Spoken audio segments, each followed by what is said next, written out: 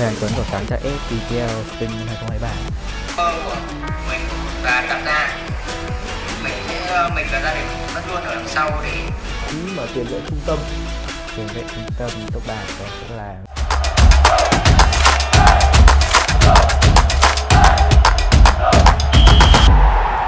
Vâng, chào mừng tất cả các bạn đã quay trở lại với Fcon Và bây giờ đã là ngày mùng 6 Tết rồi Tức là chúng ta đã đi qua được 5 số Và đây sẽ là số cuối cùng trong series Tết Fcon của năm nay. Ờ, ở những cái số lần trước thì ờ, chúng ta đã được gặp những legend, Những người được coi là huyền thoại của FIFA Online 4 Việt Nam. Ngày hôm nay thì là một nhân vật không phải huyền thoại, Nhưng mà tôi tin thì anh chàng này sẽ là một trong những cái người cực kỳ đặc biệt trong cái lứa FC Online thế hệ mới. Và chào mừng Lê Hà Anh Tuấn đã đến với Fcon số thứ 6 ạ. Dạ vâng. Em xin chào tất cả mọi người đang xem ạ. Thì em tên là Lê Hoàng Tuấn ạ. Thì em sinh năm 2008 và em đang học tại trường trung học phổ thông Hoàng Cầu lớp 10A4 ạ. Vâng, ờ, Lê Hoàng Tuấn là một người ờ, phải nói là rất là nhút nhát anh em ạ. à, khi mà tôi vào thực hiện cái số talk show lần này tôi cũng có nói chuyện một số nhưng mà hầu như là những cái cuộc nói chuyện của tôi với Lê Hoàng Tuấn thì nó khép, khép lại rất là ngắn và hy vọng là trong số hôm nay thì uh, anh với em sẽ có được nhiều câu chuyện, có được nhiều những cái góc nhìn nhá. Vâng. Ok. Nếu mà để mô tả ba tính từ về em thì ờ, em sẽ mô tả bản thân em là người như thế nào? um, Theo em nghĩ thì em sẽ là một người khá là nhút nhát Nhưng mà khi mà thi đấu thì em có sẽ có đôi chút tự tin với cả bay bổng Anh thấy rất là kỳ lạ nhé, có nghĩa là em là một người rất là hiền. Vâng. Và anh thấy anh cũng thấy qua cách nói chuyện rồi ờ, cái cách thể hiện các thứ thì rất đều thể hiện mình là một người rất là hiền, rất là nhút nhát. Nhưng mà khi đặc biệt là khi ăn mừng nhá, ờ, em có thể thực hiện lại một kiểu ăn mừng đó um, Kiểu ăn mừng signature của mình. Em mình xin là trời là chứ chứ đây đấy Ờ, mà mà mặt rất là chiến anh em ạ mặt rất là chiến rất là ngông nghênh và em có thấy là bản cái cái phiên bản của mình giữa bên ngoài và khi thi đấu nó là hai phiên bản khác nhau. Um, Theo em nghĩ thì có thể đấy là phiên bản khác nhau hoàn toàn này khác nhau hoàn toàn. Vâng. ở bên ngoài thì có thể nhìn em trông thấy hiền đấy nhưng mà khi mà vào trận đấu mà khi kiểu em có thể có bàn thắng là kiểu lấy lại được tự tin thì nhìn em khá là khác vâng đấy cũng là một trong những cái lý do mà ngày hôm nay mình mời Lê Hải Anh Tuấn. Mặc dù là cũng biết là cậu bạn này thì khá là nhút nhát và ăn nói nó cũng không được ờ, mạnh dạn lắm. Nhưng mà mình tin là bên trong con người của Lê Hải Anh Tuấn thì vẫn sẽ có thêm một phiên bản khác. Và ngày hôm nay à, hy vọng tất cả các bạn sẽ cùng nhìn thấy cái phiên bản đó của Lê Hải Anh Tuấn. Anh nghĩ là mình sẽ bắt đầu với ờ, một list câu hỏi rất nhanh. Vâng. đây là một list câu hỏi nhanh. Về những lần đầu của em anh nghĩ là rất nhiều khán giả ở đây sẽ choáng ngợp với cái điều đấy. Ok em sẵn sàng không ạ? Dạ, em sẵn sàng ạ. ok anh sẽ bắt đầu nhá lần đầu tiếp xúc với một tựa game bóng đá Ờ, lần đầu tiếp xúc với tựa game bóng đá của em là vào năm 2013 ạ. Là 2013. lúc đấy là tựa game PES 2013 đấy em có thể nói thêm về tuổi tác lúc đấy của em Ờ, khi đấy thì em ờ, năm 2013 lúc đấy em vẫn còn là năm năm tuổi ok Vâng. bây giờ chúng ta sẽ quy định theo tuổi nhé Vâng. có nghĩa là lần đầu tiếp xúc với tựa game bóng đá là em 5 tuổi Vâng. ok. Lần đầu tham gia một giải đấu chuyên nghiệp lần đầu tham gia giải đấu chuyên nghiệp của em là vào năm em 9 tuổi ạ. 19 tuổi lần đầu vô địch một giải ạ Ờ, lần đầu vô địch một giải là năm em 11 tuổi ạ. lần đầu thất bại tại một giải đấu ạ Ờ, cũng, lần đầu thất bại cũng là năm em 9 tuổi ạ. lần đầu kiếm được tiền từ việc chơi game ạ Ờ, lần đầu kiếm được việc à, là năm em 12 tuổi ạ.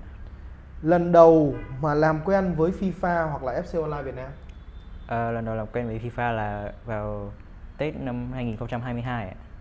lần đầu leo lên top 1 của FC Online Việt Nam Ờ, cũng là vào Tết năm 2022 ạ. bàn thắng đầu tiên ở FPL Ờ, bàn thắng đầu tiên là vào lưới của anh Helix ở team ở VNS hồi đấy ạ. Là bàn thắng của Lewandowski anh em có biết một cái điểm chung của Lê Hải Anh Tuấn khi mà ngồi ở đây đó là gì không ạ? Đó là tất cả những cái dấu mốc vừa rồi đều chưa qua tuổi 20 phải không ạ? Vâng. vâng. Đó là đó là một trong những cái thứ mà cá nhân mình rất là ấn tượng và cũng hiểu được tại sao mà trong cộng đồng này hoặc là trong những cái tít báo mọi người thường hay gọi em là thần đồng. À, ngày hôm nay thì anh lại muốn nói thêm về cái chữ thần đồng đấy. Thực tế ở Việt Nam ấy thì anh nghĩ rằng là có rất ít người được gọi là thần đồng. Và hầu như là những cái người mà đã mang cái mắt thần đồng ấy, anh thấy là đều có một cái sự phát triển rất là tốt.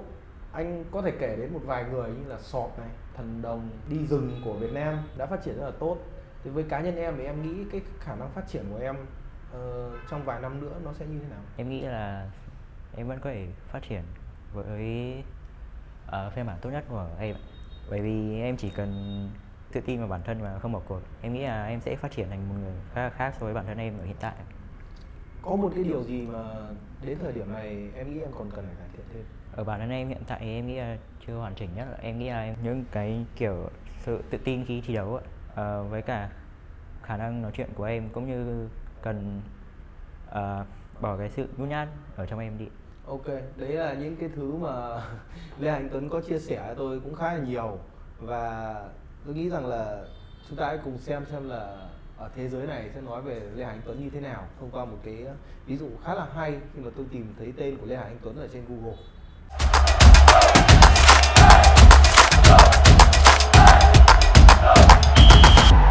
Và đây là những điều mà khi chúng tôi tìm kiếm về cái tên Lê Hải Anh Tuấn ở trên Google, anh phải nói thật là ví dụ bằng tuổi em mà anh tìm kiếm này, rất mong có một cái dòng nào, ông nào viết một cái bài về Nguyễn Trí Đức Anh hay là Bresingham nhưng lại không ra nhưng mà cá nhân em thì anh thấy thực sự là trên Google có rất nhiều kết quả tìm kiếm.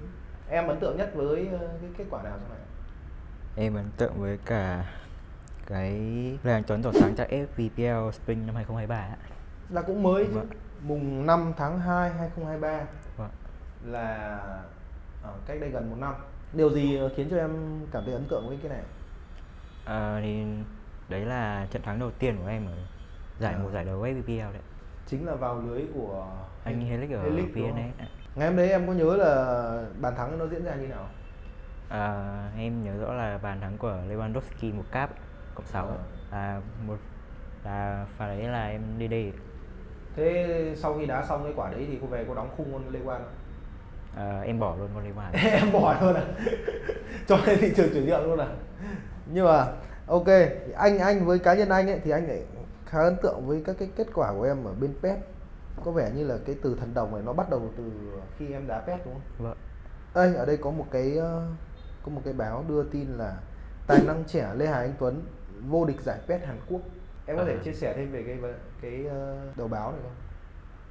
Theo em nhớ thì đây là vào năm 2020 mà em tham gia một giải đấu ở bên Hàn Quốc là Kick Cup ạ. Kick Cup. Vâng. Khi đấy thì em ở vòng bảng thì em toàn gặp những đối thủ là đến từ Hàn Quốc. Khi mà à. vào trận chung kết thì em mới gặp anh anh Savi Tuấn Anh ạ. À. vâng. Thì ở trong trận chung kết đấy thì là đá Boba thì em thảo có giành chiến thắng ở hai trận phen rồi à, có nghĩa là đấy là cũng là một trong cái giải đáng nhớ đấy đúng không? Vâng mà nhưng mà anh thắc mắc là đây là giải đá on chứ đúng không? Vâng on giải thì mình on. mới không cần phải xin visa đúng không? Để vâng. đi sang đúng không? Nói về uh, các cái giải pet đi thì ai là người đầu tiên đưa em đến với cái con đường mà thi đấu giải pet này? Chắc chắn là anh em này. Ờ, anh em là người đầu tiên thi đấu giải cùng em vào năm em 9 tuổi đấy đấy là cái giải nào cụ thể hơn? Ờ, đấy là cái giải khi đó ở bên pet người ta gọi là pet Việt Nam ranking ạ. Một bảng xếp hạng của Việt Nam ấy, ở bên pet đấy. À, là như kiểu một cái hệ thống ờ, đá league của vâng. của pet Việt Nam đúng không? Vâng kiểu chốt anh ạ. Ok. Anh nhớ là còn có một lần anh xem ở trên TV luôn không phải là trên báo thậm chí là lên TV luôn. Có một cái ờ, thành tích đó là em thắng các game thủ Hàn Quốc. Trong một cái chuỗi kendo gì đó anh nhớ ở đâu đấy là khoảng từ 5 cho đến 6 người. Ừ.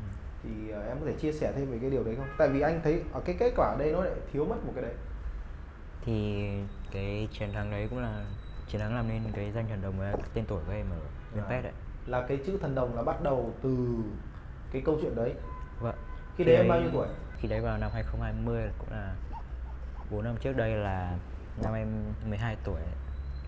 Khi đấy thì cũng là lần đầu tiên em được lên báo đấy là nhờ những chiến thắng những anh đến từ Hàn Quốc chiến thắng top 1 với cả chiến thắng 6 đến 7 anh ở đến từ Hàn Quốc. Và đá lúc đấy là đá BO1 à đúng không? Ờ, lúc ấy đá BO1 ạ. đá BO1 vâng. Rất là trẻ và chiến thắng liên tục với những cái game thủ hàng đầu của Hàn Quốc ừ, có bao giờ em bị một cái áp lực gì đó về cái mặt F9 với bản thân mình không? À, em không bởi vì em cảm thấy thoải mái nhất khi em là chính em đấy. Thế còn ờ, anh cũng có một cái thắc mắc như này và anh nghĩ là rất nhiều người cũng đang suy nghĩ chung giống anh đó là khi em đi đá chuyên nghiệp sớm như vậy hoặc ít nhất là đá những cái giải sớm như vậy thì cá nhân em về chuyện học hành mọi thứ nó có bị cắt ngang không? Ờ, cá nhân em thì chuyện học hành thì em có thể cân bằng được. Bởi vì ngay từ đầu thì bố mẹ em cũng đã ủng hộ em trong cái con đường trở thành một game thủ chuyên nghiệp ấy. Từ năm năm từ năm em 9 tuổi thì em đã có thể ờ, làm bố mẹ có suy nghĩ khác về con đường game thủ chuyên nghiệp của em. Trong xuyên suốt sự nghiệp của Hà Lê Hà Anh Tuấn ấy thì anh thấy có thể chia ra làm hai phần một là PES và hai là FIFA thì ờ, em cảm thấy là tựa game nào hay hơn? Ừ, để mà so sánh thì em không thể so sánh được bởi vì cả hai tựa game đều là tựa game làm nên tên tuổi của em. Nên là sự so sánh ở đây khá là khập khiễng. Thế thì mình sẽ hỏi một cái câu hỏi khác đi Có nghĩa là với PES và FIFA ấy, thì em cảm nhận là tựa game nào khó hơn? Ờ, theo em cảm nhận thì FIFA là một tựa game khó hơn so với em. FIFA là một tựa Vâng. game khó hơn Rất nhiều người ờ, có nói rằng là là FIFA sẽ đá nó nó ảo hơn so với PES PES thì đá nó phải chậm rãi nhưng mà với em thì cái điểm khó làm quen nhất của FIFA là nằm ở đâu? Ờ, theo em đấy là lối chơi với cả tốc độ của game play ấy. Bởi vì ngay từ bên PES là em đã làm quen từ 5 năm tuổi rồi. Khi mà thi đấu chuyên nghiệp thì cũng là 7 7 8 năm em thi đấu PES đấy. Khi mà sang FIFA thì em mới được 1 2 năm với và nói chung thì cái tốc độ của game play cũng là khiến em khó làm quen ấy. Khi mà đổi sang ờ, FIFA ấy, thì ờ, em em đã phải mất bao nhiêu thời gian để làm quen với cái tựa game này? Ờ, em mất 4 đến 5 tháng. ấy. 4 đến 5 tháng. Vâng. Một khoảng thời gian rất là lớn. Khi khi làm quen ấy thì ai là người giúp em làm quen? Ừm, thật sự mà khi mà sang tựa game FIFA Online 4 này thì em cũng xem các anh trước thi đấu ấy, có thể là anh Mesut và cả anh Thành. Khi đấy anh Thành sang FIFA Online 4 trước em một khoảng thời gian. Thì em có xem anh Thành với cả anh Mesut cũng là một người thân với em từ khi em còn nhỏ ạ. Anh Mesut à? Vâng. À, ở bên ờ, team ờ, Anh Hiệp Maestro uh, Maestro với lại cả Nihari ngày xưa đúng không? Vâng. Ok, vậy thì có phải là Mesut và Thành Mù là những người mà ảnh hưởng đến lối chơi của em nhiều không? Hay là đấy Ừ. là một cái lối chơi mà hiện tại em đang đá là tự nghiên cứu ra? Thì người ảnh hưởng lối chơi của em nhất chắc là anh Thành. Nhưng mà cái hiện tại thì theo như các anh là nói thì cái em là phiên bản khác hơn của anh Thành lối chơi nhanh hơn anh Thành một chút Ok, anh thấy rằng ờ, cái câu chuyện ờ, về tuyển thủ chuyên nghiệp em đã đi được một khoảng thời gian khá là dài rồi. Mặc dù là em cái tuổi còn rất nhỏ nhưng mà với với anh thì anh đang ờ, có một cái hơi thắc mắc là tuyển thủ chuyên nghiệp ấy thực tế là về mặt kinh tế thì có ok Ừm. Ờ, hiện tại thì em chỉ tập trung vào cái ước mơ với cả đam mê của em.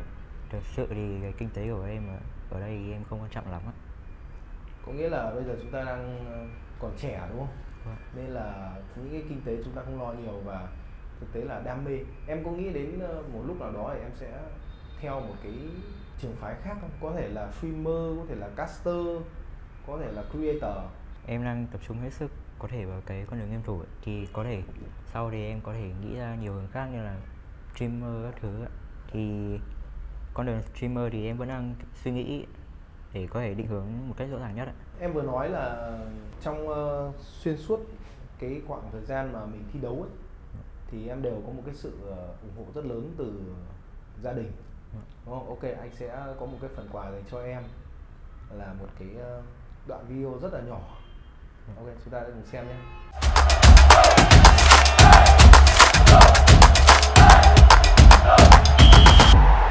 Mình xin được gửi một lời cảm ơn đặc biệt đến Gazena cũng như là shop tay cầm Pressing Time vì đã tài trợ cho chương trình này và một phút dành cho quảng cáo. Nếu anh em chưa biết mua tay cầm chơi Tết ở đâu thì hãy vào ngay shop Pressing Time để ủng hộ bọn mình nhé. Em có nhận ra người nào mà khi bắt đầu cái video này không ạ? Tất cả đây là Một người rất quen thuộc và anh nghĩ là cũng ờ, ảnh hưởng đến ờ, cái con đường chuyên nghiệp của em khá nhiều. thì đây là anh của Lê Hải Anh Tuấn. À, mình có nhờ anh ấy quay một đoạn video clip và sau đây sẽ là những cái chia sẻ của anh và về Lê Hải Anh Tuấn và những cái kỳ vọng trong một cái năm mới 2024 thế này. Ok mời em. Ờ, Tuấn Anh anh trai của Lê Anh Tuấn. Như mọi người đã biết thì Tuấn hiện đang là game thủ của tựa game FC Online. À, mình và Tuấn đã gắn bó với nhau được 10 năm rồi từ lúc Tuấn mà đang là còn là cậu nhóc 5 tuổi cho đến bây giờ thì đã thành một thiếu niên. Ờ, à, 15 tuổi rồi. Tuấn thì đối với mình Tuấn là một người uh, em ít nói hiền lành ngoan và dễ bảo. Nhưng mà đến bây giờ thì uh, ít nghe lời mình hơn rồi nhưng mà mình thì vẫn mong Tuấn uh, sẽ đạt được uh, những ước mơ của mình và đặt ra. Mình sẽ ờ, mình và gia đình vẫn luôn ở đằng sau để cổ vũ và support cho Tuấn. Uh, Tuấn Tuấn ơi cố lên. Anh luôn ở đằng sau để hỗ trợ em.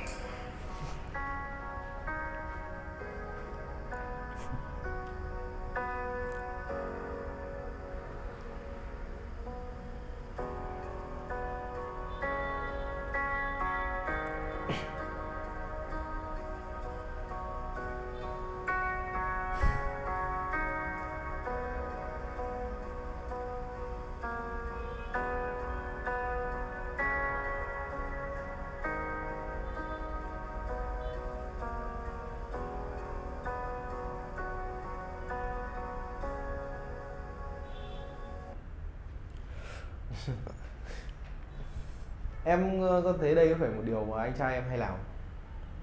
Em nghĩ là không rất bởi là vì anh trai em cũng là một người khá là ngại máy quay giống em anh nghĩ là đây là một cái dịp ờ, hiếm hoi mà để cho Lê Hải Anh Tuấn có một cái động lực hơn trong năm mới.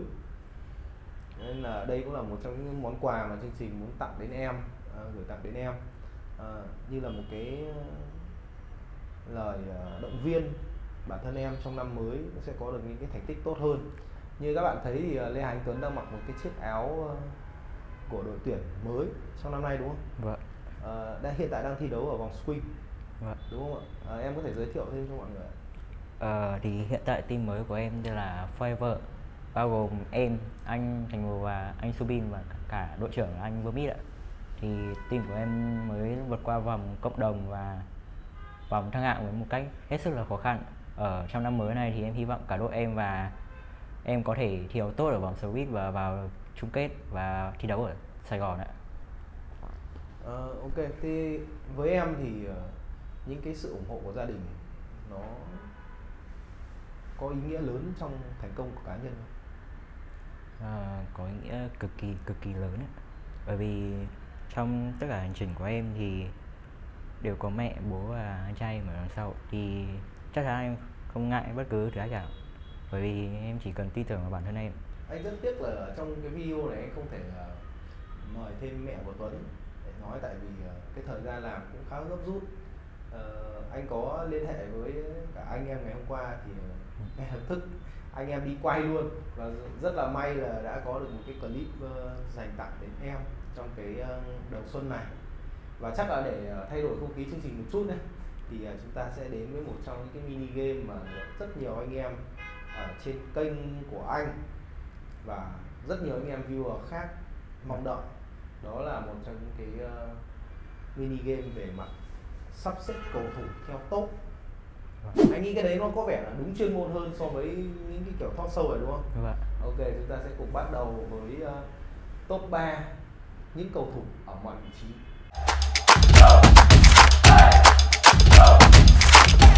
Đầu tiên là vị trí thủ môn ạ. Với ba À. cầu thủ top 3 top 3 vị trí thủ môn của em sẽ là Thibaut Courtois, Donnarumma với cả Evan van der Sar có thể cho các bạn thêm mùa luôn. Ờ, cao toa thì em nghĩ là mùa 23 lại còn Donnarumma cũng là thế ạ còn Van der Sar thì em nghĩ là mùa TT TT. vâng còn nếu như mà những mùa lưng cao khác thì có thể là mùa 18 hoặc là mùa back to back 8 là cũng được ạ Trong đội hình của em thì đang sử dụng cầu thủ nào? Trong đội hình của em thì đang sử dụng cầu thủ là Donnarumma mùa lại Donnarumma Vâng. mở lại. Ok, vậy vị trí trung vệ Ờ, vị trí trung vệ của em sẽ là Manini, Kim Min với cả Ruben Dias Ruben Dias. vâng theo anh biết là Ruben Dias đã từng là một cái cầu thủ có khả năng xoay sở khá là chậm Nhưng mà tại sao Ruben Dias nằm trong top 3 Ờ, thế em nghĩ là khả năng cắt bóng với cả AI của Ruben Dias là khá là tốt bởi vì theo mọi người đã biết thì Dias là nhà vô địch Champions League năm của hai UCL đấy. Em nghĩ là có AI của nhà vô địch đấy. à. Có một cái tên mà em bỏ quên nhá Rudiger và Varane đây là hai cái tên mà đã bỏ quên thì em nghĩ sao về hai cầu thủ này Ờ, thì hai cầu thủ này có thể mặt bằng chung có thể coi là quốc dân nhưng mà em nghĩ là so với top 3 cầu thủ em chọn thì chưa bằng bởi vì Ok. Rudiger với cả Varane đều là những cầu thủ Varane có thể là coi là tác bóng tốt nhưng mà thể nhỏ cũng là một vấn đề lớn còn Rudiger thì em nghĩ là khả năng vào bóng thì có thể dễ bị penalty đó so với cả Kim Jae với cả Ruben Dias thì Kim Jae là một và Hàn Quốc ấy, có thể coi là AI của Hàn Quốc là con cưng của Nelson em nghĩ là sẽ hai cầu thủ đấy sẽ không bằng top 3 của em chọn ok cũng khá hợp lý thôi. Cá nhân tôi thì tôi cũng mong là có thể sở hữu được con uh, Kim Jae 23 TS nhưng mà chưa có lúa anh em ạ. Thế nên là khả năng là cũng phải nhờ tí nhà phát hành. Thế còn ờ, về mặt vị trí ờ, hậu vệ thì sao? Hậu vệ cánh, chúng ta sẽ đi từ hậu vệ cánh phải trước đi. Thực tế thì anh cũng biết là hậu vệ bây giờ thì ờ, nó cũng khác ngày xưa nhiều rồi. Nó không phải là cân lương nữa. Rồi nó vẫn phải, nó vẫn phải lương cao cao, khoảng tầm từ 17 đúng không? Vâng. Em nghĩ top 3 của bên cánh phải thì là có Cancelo mùa MC và uh, Emabu mùa BOE 21 ấy. Với cả cuối cùng là một quỷ đỏ là Wan-Bissaka. Wan Bissaka Vâng. Wan Bissaka của mùa gì Uh, one to what? ạ.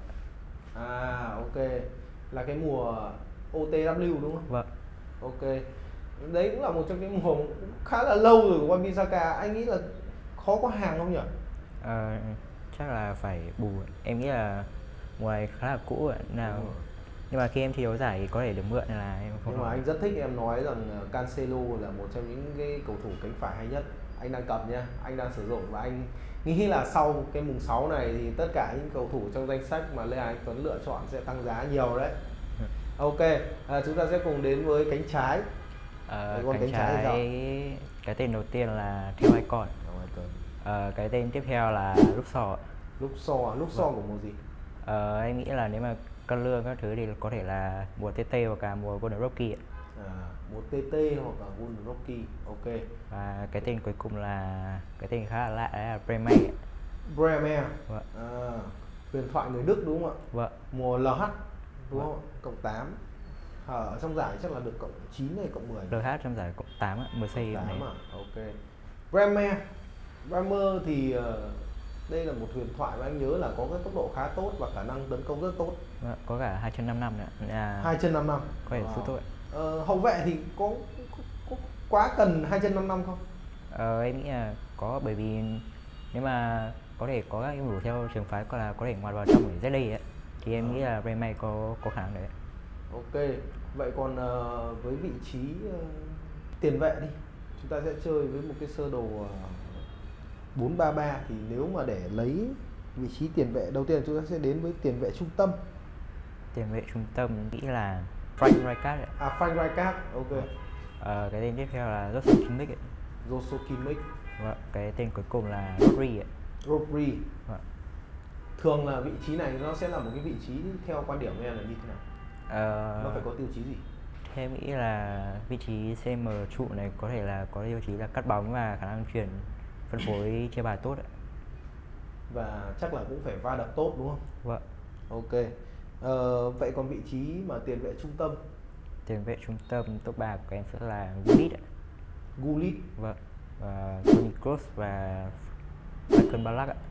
Toni Kroos nói nói chung thì về Gullit và Ballack thì có rất nhiều mùa thì em ờ, em có thể phân biệt được những cái mùa ấy như thế nào Ờ, để mà CM thì nếu mà với những người có tài chính tốt thì có thể là Gullit Icon ạ. Còn không thì Gullit EBS cũng là một sự lựa chọn tốt ạ.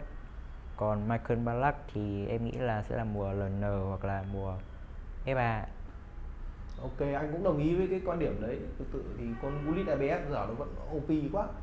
Nó ra từ cũng lâu rồi đấy mà bây giờ đến giờ nó vẫn OP trong khi Ballack thì anh thấy gần như là những cái mùa ra nó đều na ná nhau. Kể Gullit cũng thế na ná nhau nó chỉ khác một chút là về cái vị trí chơi thôi. Có một cái cầu thủ nữa mà em nói bên, bên cạnh à, Gullit Balak là Toni Kroos đúng không? Vâng.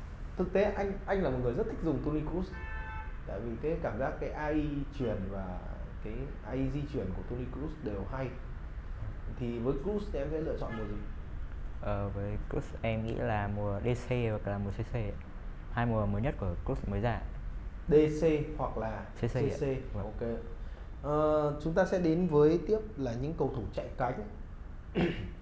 Chắc là bây giờ thì hai chân năm năm nó đã quá phổ cập rồi thì cánh phải hay cánh trái thì cũng đều được đúng không vâng ok vậy thì anh sẽ muốn có một cái top 3 ở đây à, thêm top 3 ở đây đầu tiên là huyền thoại người Séc uh, Pavel Nedved ạ.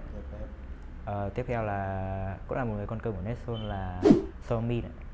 Son cái tên cuối Còn cùng à cái tên cuối cùng thì em nghĩ có thể đẩy ra cánh là có thể là Eusebio ạ. Eusebio Vâng. Ok Ờ, Eus- Eusebio bây giờ đã có Icon the Moment đúng không Vâng. Ờ, liệu cái con E- Eusebio Icon the Moment thì có có nên có nghĩa là có nên mình có nên chuyển sang thành chơi thành một con Eusebio Icon the Moment không hay là Icon cộng 5 đã là đủ Theo em nghĩ thì những con icon the moment mà khi mà nâng cấp lên thì chỉ cần nâng những con có 255 nữa. Bởi vì nhưng mà thực chất nếu mà có tài chính thì có thể nâng lên icon the moment thì em nghĩ là có cũng có sự khác biệt khá là lớn đấy. Ờ, có nghĩa là những icon the moment mà hiệu quả nhất là những con mà đã được update lên 255 Vâng. một số con như là em có thể kể Ờ, em nghĩ nhớ là Toure, Zira với rồi, cả ờ, em nhớ là Crespo, Crespo Ờ. icon the moment. Crespo Icon ok Ờ, và tất nhiên rồi vị trí ờ, quan trọng nhất trong đội hình này là top 3 tiền đạo. Ừ, top 3 tiền đạo. Theo em thì là Cristiano Ronaldo mùa CC và chắc là Ronaldo béo mùa Icon cộng 5 và cuối Ok. cùng thì là cái tên mà em đang dùng ở trong đội hình hiện tại là cha Icon the Moment cộng 3 à, cha Icon the moment cộng 3 Ronaldo béo này Ronaldo CR7 này và cha bung cung Ờ, cha bung cung nếu mà là icon bình thường thì có có hay được không? Ờ, trong cô em nghĩ Icon có thường xứng đáng thì trong top 3 không? vẫn có thể sử dụng được có thể bởi vì theo em nghĩ thì các anh thi đấu ở rank thấp hơn thì có khả lối chơi là chọc và chạy ạ. Nên là em nghĩ là cha sẽ khá hợp lý so với À. lối chơi của anh ấy. có nghĩa là với những anh em mà danh thấp thì ờ, hoặc là những anh em mà danh không phải kiểu không đến mức chuyên nghiệp đúng không? Không thi, Vâng. thi đấu chuyên nghiệp thì cha bung cung sẽ là một trong những lựa chọn cực kỳ hay và hoàn hảo đúng không? Vâng. ok chúng ta đã vừa kết thúc cái mini game top 3 và anh rất là muốn em nói thêm về cái meta hiện tại. Cái meta ở thời điểm này thì ờ, em sẽ khuyến khích mọi người về lối chơi như thế nào xây dựng sơ đồ ra làm sao và các chiến thuật trong đội hình. Ok xin mời em uh, theo em nghĩ meta hiện tại có thể là meta của tạt cánh đầu và có thể là những tình huống FD xuất xả. Meta hiện tại thì có thể sử dụng solo 422 hoặc là ờ, uh, 433 cũng được. Bởi vì đều có ở hai tuyến giữa khá là đông. Bởi vì cái đối chơi phòng ngự hiện tại thì đang khá là đông ở tuyến giữa. Nên là em nghĩ tuyến 2 sẽ có nhiều khoảng trống hơn để có thể FD những cú sút từ xa. Bởi vì FD hiện tại thì chỉ cần lên đúng lực là có thể vào góc thượng em nghĩ là chỉnh đồng môn thì cũng khó có thể cản được. Về còn ờ, về chiến thuật? Chiến Ờ. thuật đơn và độ. Về chiến thuật đơn thì em nghĩ là meta hiện tại thì em nghĩ là hai vệ cánh LB RB có thể dâng cao để hỗ trợ tấn công. Bởi vì cái meta hiện tại này thì có thể sử dụng hai vệ cánh lưng cao. Nên là em nghĩ về vấn đề thể lực hay là vấn đề khác cũng không quan trọng lắm.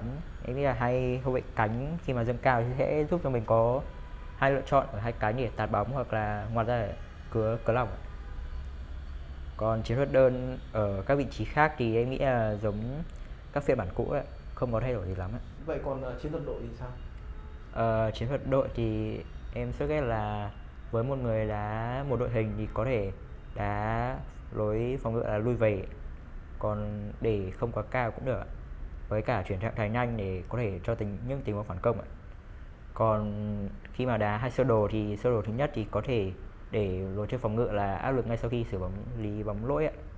à, để có thể áp sát đối thủ ngay còn sơ đồ 2 là để lui về để những tình huống mà cả đội đã lui về để có thể phòng ngự ở tuyến giữa cũng như là hai cánh tốt ấy. Anh thấy là bây giờ trong một cái sơ đồ nó có cả công cả thủ rồi ấy.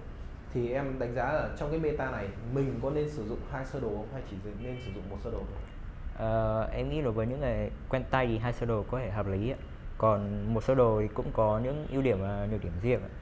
bởi vì em nghĩ là một sơ đồ thì những hậu vệ hay là tiền đạo có thể lui về khá là chậm và cũng có thể là bị phản công khá là nhanh nhưng mà ngược lại thì khi mà đá một sơ đồ thì mình cũng có thể phản công nhanh ngược lại so với đối thủ ấy.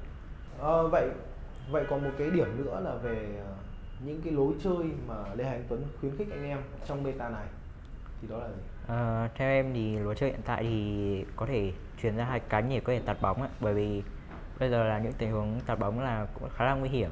Em nghĩ là nên chuyển chậm rãi thì có thể di chuyển ra hai cánh để có thể tạt uh, em thấy là hiện tại lối chơi chọc cũng có bị nép so so với meta cũ nên là em nghĩ là có thể ở hai tuyến có thể là FD FD để kết thúc đối thủ luôn Ờ, vậy thì một lời khuyên của Lê Anh Tuấn dành cho những anh em danh thấp mà đang muốn cải thiện cái khả năng chơi của mình thì đó là gì? Em nghĩ là không bỏ cuộc ạ bởi vì khi mà các anh tranh nhiều các anh sẽ có thể là có thể quen với cả các chiến thuật cũng như là quen với cách đá của bản thân mình để tìm ra một lối chơi phù hợp nhất với chính bản thân các anh ạ Ok, uh, vừa rồi là một trong những cái chia sẻ nhanh của Lê Hải Anh Tuấn về những thứ mà được coi là meta đúng không ạ? Meta trong cái, cái gameplay mới này và hy vọng là những anh em ờ, ngày hôm nay thì ờ, xem cái buổi ngày mùng 6 này sẽ có được một cái góc nhìn ờ, hay hơn về những cái cầu thủ mà anh em đang sử dụng trong game, những cái chiến thuật cũng như là những cái lối chơi mà anh em có thể nào đó là để vận dụng, để chiến thắng thằng bạn thân chẳng hạn.